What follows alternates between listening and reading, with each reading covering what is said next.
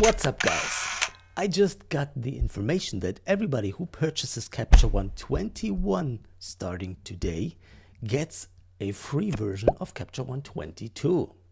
That's also valid for people purchasing an update from an earlier version. So if you thought about switching to Capture One or getting the latest version, this might be a great opportunity.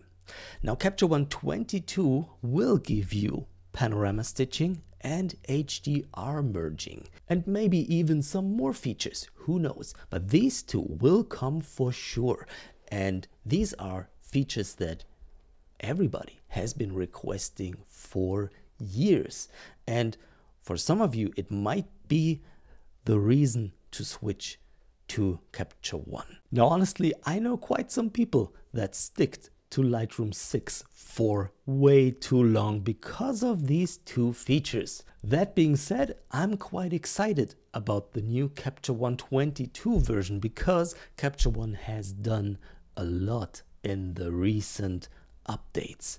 For example, Speed Edit. I love Speed Edit. It's such a small feature which has a huge impact on my editing.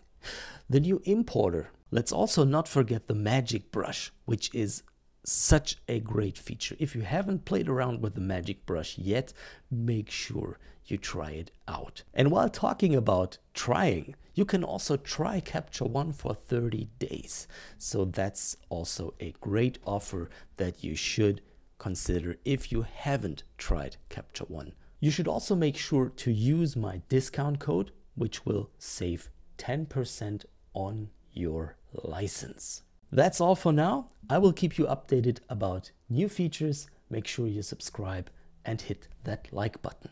Thanks for watching. Goodbye.